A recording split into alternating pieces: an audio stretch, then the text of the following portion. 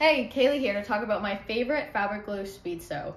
Speed-Sew helps me with crafts, fixing my clothing, any hemming job, and I recently just fixed this shirt. You can't even see where the hole was.